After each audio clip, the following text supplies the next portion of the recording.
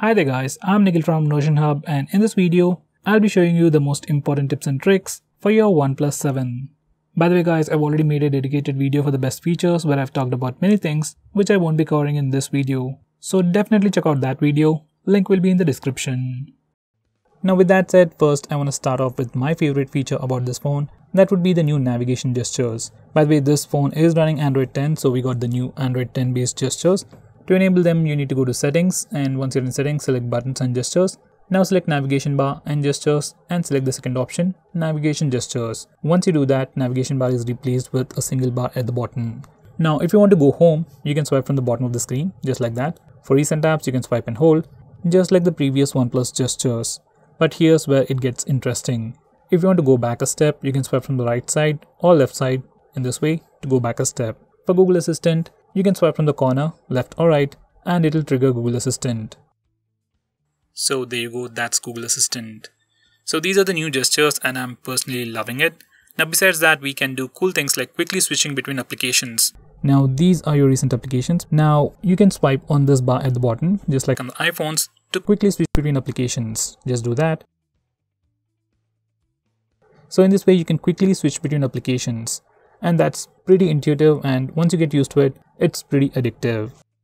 Next, I'm going to show you how to enable dark mode on this phone. OnePlus calls it a theme and to enable it, we need to go to settings, then select customization. Over here, select preset theme. Now select dark. And once you do that, all the UI elements will change to dark colors. This will strain your eyes less at night. It looks cooler and saves some battery as well. One interesting thing about this theme is it even changes stock applications theme. So this is the phone dialer and it even has a dark mode. This is your notification area and this is the settings. So everything is in dark mode now. From the customization settings, you can change your wallpaper. You can also change the clock style for your ambient display. You can go with different modes. We can also change the fingerprint animations and these are the different animations that we have right out of the box. Just select the one that you like and just click apply and now it's applied. So here's the new animation. So there we go. Next, we can also change the accent colors. Personally, I like the blue, but you can also go with green, red, and any of these colors. Next, we can also change the shape of icons, toggles, and all the UI elements. So here are the shapes. We have rounded, followed by square. Next, we have teardrop, and finally, rounded rectangle. So I like to go with circle, so I'll just leave it to that.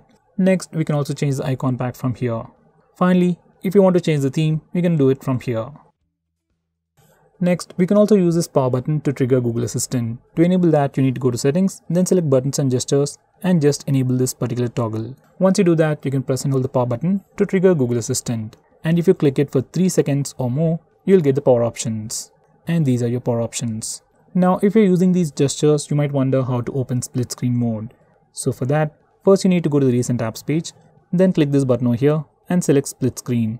Once you do that, that application opens up in the top window and you can select the application from the list over here. If you try to use split screen mode for a few applications, say like gallery application, it simply fails. So here's the gallery application and when you try to open it says app does not support split screen. So to fix that, first we need to go to settings. Once you're in settings, scroll to the bottom, select about phone. Now click on build number 7 times. Once you do that, developer options will be enabled. And now it's enabled, let's go back a step now let's go to system and you can find the developer options over here. Just select that. Now just scroll up a bit and enable force activities to be resizable and then restart your phone. Once you do that, you will be able to use all applications in split screen mode. Well, except for games. Now I'm going to show you how to take screenshots on this phone. You can just press the volume down and power button both at the same time to take a screenshot. And for some reason, if that's a bit hard for you, we also have three finger screenshot gesture where you can swipe down using three fingers to take a screenshot. Now, if this gesture is not working for you, you need to go to settings, then select gestures, then select buttons and gestures, then select quick gesture, and make sure this particular toggle is enabled. If it is enabled, you can just swipe down using three fingers to take a screenshot. Next, if you want to take a long screenshot on this phone, first we need to take a regular screenshot. You can either use the buttons or the gesture. I'm going to use the gesture. Now click this button. Once you do that, your page will scroll automatically and once it reaches the end, it'll stop and give you a long screenshot. Next, we still have those off-screen gestures we have seen back in OnePlus One. So to enable them, you need to go to settings, then select buttons and gestures, quick gestures, and now these are the gestures. We have double tap to wake, music controls, We can draw O to open the camera application and V to toggle the flash. This is my preference. So here we go, double tap to wake, it works. We still have music controls where we can draw less than or greater than to change to the next and previous songs and draw two parallel lines to play and pause. By the way, these gestures even work on ambient display. Now I'm going to show you some important gestures. This is the default launcher and when you do a swipe up gesture, it takes you to the app drawer. When you do a swipe down gesture, it pulls down the notification bar. When you do it again, you'll get the toggles. Now on your home screen or anywhere else, if you do a swipe down gesture with just one finger, you'll go to the notification area. But if you do it with two fingers, you'll get to see the toggles. That's a nice shortcut. On the default OnePlus launcher, if you go to the leftmost corner, you'll see OnePlus shelf. In this shelf, we have something interesting called parking location.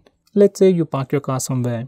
Using this feature, we can mark it. We can take a picture of the surrounding just by doing that and it shows up always on your home screen in this parking location area. We can also pin its location on Google Maps. Just like that. Next, if you want to display the battery percentage and the network usage on status bar, this is what you need to do. Go to settings, now select display, scroll down and select status bar. From here, just enable this toggle to display the battery percentage on the status bar and enable this toggle to display the network usage on the status bar. Next, if you want to record calls automatically on your phone, first you need to open the phone dialer, then click this button here, then select settings. Now select call recording. Now enable this toggle and enable the second toggle as well. Once you do that, all the calls will be recorded automatically on your phone. By the way, if you don't want to see notification about call recording, you can disable this toggle. And if you want to record calls only from a specific number, you can do it from here as well. On most phones, whenever you get a call, you need to swipe up the phone dialer icon to the top. But on this phone, you need to swipe it down. If you want to fix that, you need to go to the phone dialer settings once again, then select settings, and now enable this toggle. Once you do that, every time you get a call, you can swipe up the phone dialer icon to answer the call. This is something I would definitely recommend you to do. Now for the final tip, if you want to change your default launcher, browser or even your SMS application, this is what you need to do. Go to settings, once you're here, select apps and notification. Now select default apps. From here, you can change your default browser, default phone dialer, default launcher, default gallery application, default email application and so on. This is one other thing I would definitely recommend you to do.